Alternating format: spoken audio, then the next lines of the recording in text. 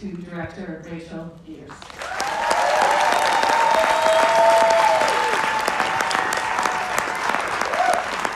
Thank you guys so much for coming to our world premiere. So excited to share this film with you.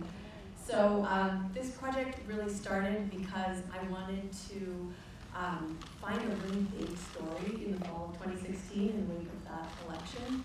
A big story about people working together across the country from different backgrounds to create some kind of really big change. And um, it ended up focusing on these four fantastic, courageous women who ran insurgent congressional campaigns this past year. And we worked our tails off to get it to you today while the iron is hot. And this is just an, it's an incredibly volatile, historic moment that we're in right now in American politics. We've got the most diverse Congress in history just elected.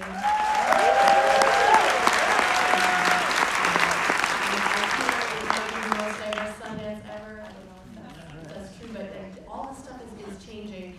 And, um, we are just so thrilled to be able to present this story to you today. It's really, it's about power, and it's about making the politically impossible possible.